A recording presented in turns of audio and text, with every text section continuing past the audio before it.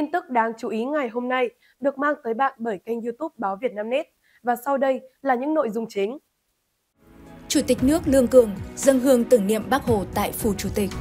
Sáng ngày 22 tháng 10 năm 2024, Chủ tịch nước Lương Cường thăm khu di tích Chủ tịch Hồ Chí Minh tại Phủ Chủ tịch và dâng hương tưởng niệm Bác Hồ tại nhà 67. Chủ tịch nước Lương Cường xem tài liệu, hiện vật được bảo quản, gìn giữ nguyên vẹn về những ngày sống và làm việc của Chủ tịch Hồ Chí Minh tại nhà 67. Chủ tịch nước Lương Cường thăm ao cá Bác Hồ trong khuôn viên du tích Chủ tịch Hồ Chí Minh tại Phủ Chủ tịch.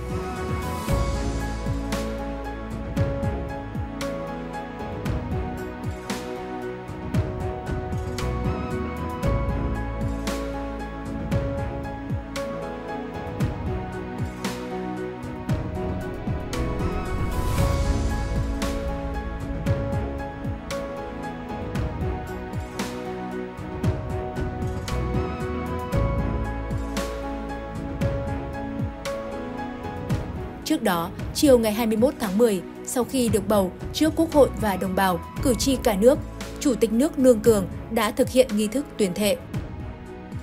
Dưới cờ đỏ sao vàng thiêng liêng của Tổ quốc, trước Quốc hội và đồng bào, cử tri cả nước, tôi Lương Cường, Chủ tịch nước Cộng hòa xã hội chủ nghĩa Việt Nam xin tuyên thệ tuyệt đối trung thành với Tổ quốc, nhân dân và hiến pháp nước Cộng hòa xã hội chủ nghĩa Việt Nam, nỗ lực phấn đấu hoàn thành tốt nhiệm vụ được Đảng, nhà nước và nhân dân giao phó. Trong thời khắc đặc biệt, Chủ tịch nước Lương Cường bày tỏ rất xúc động, vinh dự và ý thức rất rõ về trách nhiệm to lớn trước Đảng, nhà nước, nhân dân khi được Quốc hội tin tưởng, tín nhiệm bầu giữ chức Chủ tịch nước Cộng hòa xã hội chủ nghĩa Việt Nam. Chủ tịch nước Lương Cường trân trọng cảm ơn Ban chấp hành Trung ương Đảng, Bộ Chính trị, Ban Bí thư, Tổng Bí thư Tô Lâm và các lãnh đạo Đảng, nhà nước đã tin cậy, giới thiệu, đảm nhiệm trọng trách cao cả này. Ông cũng bày tỏ lòng thành kính và biết ơn vô hạn Bác Hồ kính yêu. Xin tri ân sâu sắc công lao to lớn của các bậc tiền bối, các lão thành cách mạng, mẹ Việt Nam anh hùng, các anh hùng liệt sĩ, thương binh, bệnh binh, đồng bào, đồng chí và nhân dân cả nước đã nỗ lực phấn đấu, sẵn sàng hy sinh và hy sinh để đất ta có được cơ đồ, tiềm lực, vị thế và uy tín quốc tế như ngày nay. Tháng 2 năm 1975, trong không khí hào hùng cả nước hướng về miền Nam ruột thịt, tôi sung phong đi bộ đội với ý thức và tâm niệm, đi chiến đấu để giải phóng miền Nam, thống nhất đất nước và chỉ mong đến ngày chiến thắng còn sống trở về là sung sướng, hạnh phúc. Tuyệt nhiên không nghĩ, không mơ làm đến cấp này trước kia. Đến nay, thấm thoát đã gần 50 năm phục vụ cách mạng. Tôi đã trải qua nhiều cương vị công tác, được rèn luyện, thử thách trong chiến đấu bảo vệ Tổ quốc, trưởng thành từ người chiến sĩ đến cán bộ lãnh đạo cấp cao của Đảng. Dù ở cương vị công tác nào, được giao nhiệm vụ gì, tôi luôn kiên định, vững vàng về chính trị, tuyệt đối trung thành với Đảng, với Tổ quốc và nhân dân.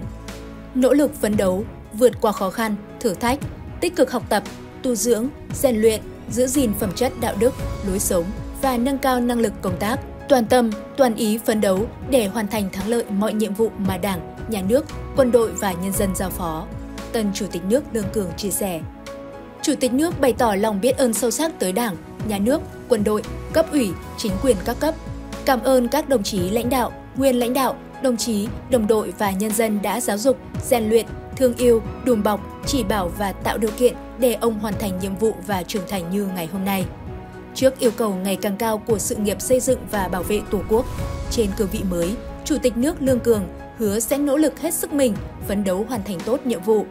Tiếp tục gìn giữ và tăng cường sự đoàn kết, thống nhất cao trong Đảng, cùng toàn Đảng, toàn dân, toàn quân tiếp tục chăm lo xây dựng và phát huy sức mạnh đại đoàn kết dân tộc, xây dựng nhà nước pháp quyền xã hội chủ nghĩa trong sạch, vững mạnh, thực sự của nhân dân, do nhân dân và vì nhân dân. Chủ tịch nước cũng nhấn mạnh về tăng cường sức mạnh quốc phòng, an ninh, xây dựng lực lượng vũ trang nhân dân cách mạng, chính quy, tinh nhuệ, hiện đại luôn luôn là lực lượng chính trị, lực lượng chiến đấu tuyệt đối trung thành, tin cậy của Đảng, nhà nước và nhân dân, xây dựng củng cố thế trận lòng dân, thế trận quốc phòng toàn dân và thế trận an ninh nhân dân vững chắc, thực hiện nhất quán đường lối đối ngoại, độc lập, tự chủ, hòa bình, hữu nghị, hợp tác và phát triển, đa phương hóa, đa dạng hóa, chủ động và tích cực hội nhập quốc tế, đảm bảo cao nhất lợi ích quốc gia, dân tộc. Chủ tịch nước Lương Cường mong Ban chấp hành Trung ương Đảng, Bộ Chính trị, Ban Bí thư, Tổng Bí thư, lãnh đạo, nguyên lãnh đạo Đảng, Nhà nước, Mặt trận Tổ quốc Việt Nam, các cấp, các ngành, các địa phương, các cơ quan, đoàn thể, đồng bào, đồng chí, cử tri cả nước và đồng bào ta ở nước ngoài ủng hộ, giúp đỡ, tạo điều kiện để ông hoàn thành tốt nhiệm vụ được giao.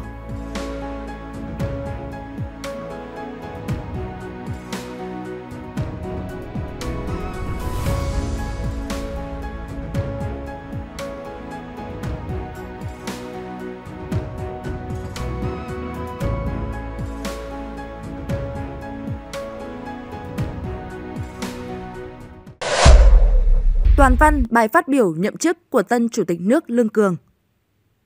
Chiều 21 tháng 10, sau lễ tuyên thệ, Chủ tịch nước Lương Cường đã có bài phát biểu nhậm chức. Vietnamnet trân trọng giới thiệu toàn văn bài phát biểu. Kính thưa đồng chí Tô Lâm, Tổng Bí thư Ban chấp hành Trung ương Đảng Cộng sản Việt Nam. Kính thưa các đồng chí lãnh đạo, nguyên lãnh đạo Đảng, Nhà nước, Mặt trận Tổ quốc Việt Nam. Kính thưa các vị đại biểu Quốc hội, các vị khách quý, kính đưa đồng bào, đồng chí và cử tri cả nước. Trong thời khắc đặc biệt này, tôi rất xúc động, vinh dự và ý thức rất rõ về trách nhiệm to lớn trước Đảng, Nhà nước, nhân dân khi được Quốc hội tin tưởng, tín nhiệm bầu tôi giữ chức Chủ tịch nước Cộng hòa xã hội chủ nghĩa Việt Nam.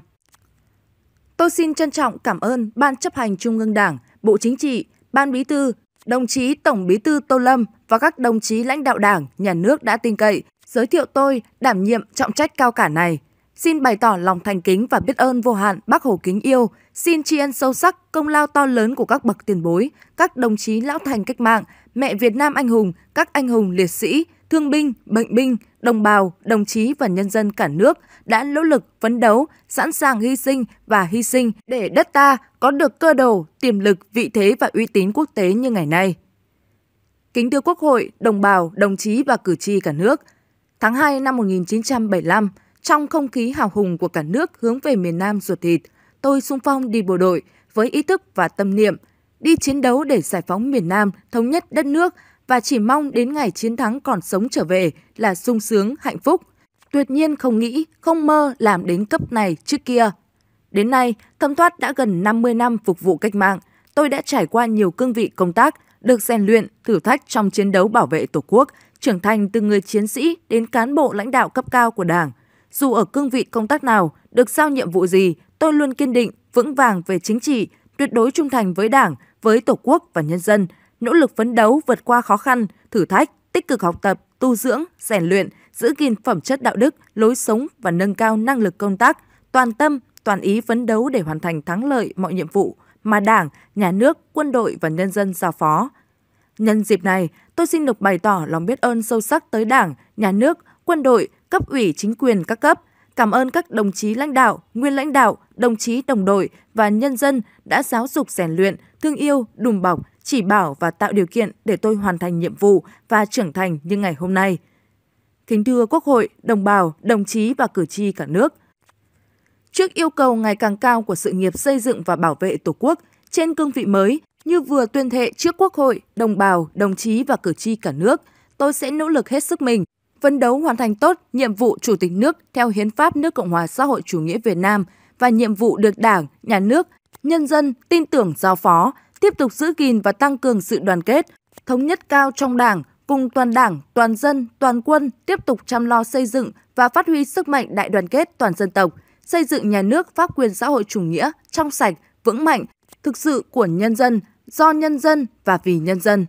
Tăng cường sức mạnh quốc phòng an ninh, xây dựng lực lượng vũ trang nhân dân cách mạng, chính quy, tinh nhuệ, hiện đại, luôn luôn là lực lượng chính trị, lực lượng chiến đấu tuyệt đối trung thành, tin cậy của Đảng, nhà nước và nhân dân, xây dựng củng cố thế trận lòng dân, thế trận quốc phòng toàn dân và thế trận an ninh nhân dân vững chắc, thực hiện nhất quán đường lối đối ngoại độc lập, tự chủ, hòa bình, hữu nghị, hợp tác và phát triển, đa phương hóa, đa dạng hóa, chủ động và tích cực hội nhập quốc tế, bảo đảm cao nhất lợi ích quốc gia, dân tộc, Việt Nam là bạn, là đối tác tin cậy, thành viên tích cực, có trách nhiệm của cộng đồng quốc tế, kiên quyết kiên trì bảo vệ vững chắc độc lập, chủ quyền, thống nhất, toàn vẹn lãnh thổ quốc gia, giữ vững môi trường hòa bình, ổn định để xây dựng và phát triển đất nước, kiên định mục tiêu độc lập dân tộc và chủ nghĩa xã hội, phấn đấu xây dựng nước Việt Nam dân giàu, nước mạnh, dân chủ, công bằng, văn minh, phồn vinh, hạnh phúc.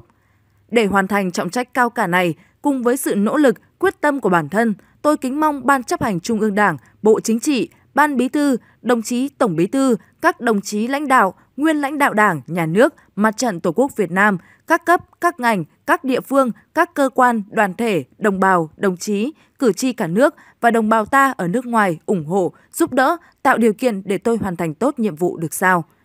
Kính chúc đồng chí Tổng Bí thư Tô Lâm, các đồng chí lãnh đạo, nguyên lãnh đạo Đảng, Nhà nước, Mặt trận Tổ quốc Việt Nam, các vị đại biểu Quốc hội, các vị khách quý, đồng bào, đồng chí và cử tri cả nước sức khỏe, hạnh phúc, mọi sự tốt đẹp và thành công. Chúc kỳ họp thứ 8 Quốc hội khóa 15 của chúng ta thành công tốt đẹp. Xin trân trọng cảm ơn.